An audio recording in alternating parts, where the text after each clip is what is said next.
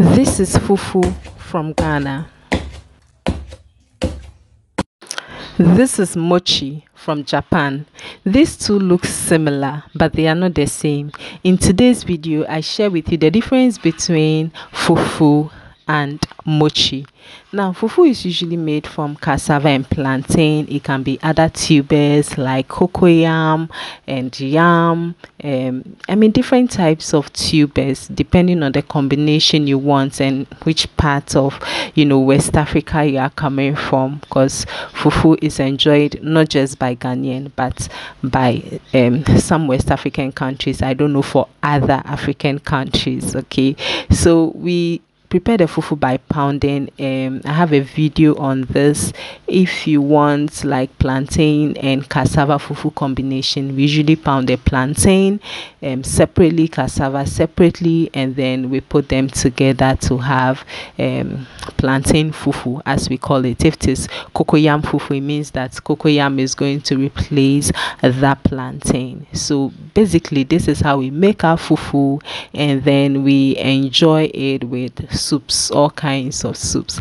Now, Mochi is a short grain Japonica glutinous rice and which is um, usually steamed and it comes out really sticky. Um, from what I read, some people add cornstarch to it.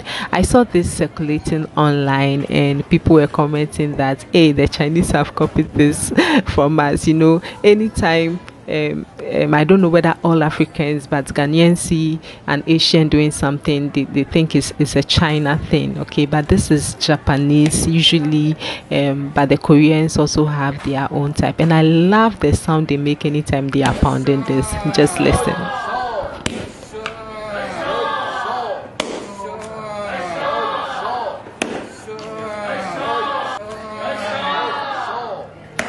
I don't know exactly what they are saying here, but you can hear it in most of these videos. Um, I think it's something that entertains them anytime they are pounding, so that you know, because pounding is such a difficult task, it will make it fun and interesting. So, the way this thing looks, it really looks like fufu. As I am watching it, I wish I can just pour some soup over it and then try and see it.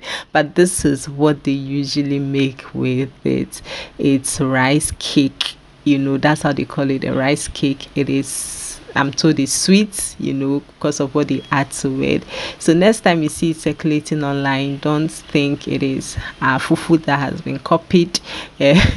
but this is how it is. And just like the way the way fufu has gone through transformation there are modern ways of doing it. That's how that's the same way they are modern ways of doing this. So in this one you can see that this is a, a slightly improved version. The women are using their legs to make the pounding easier.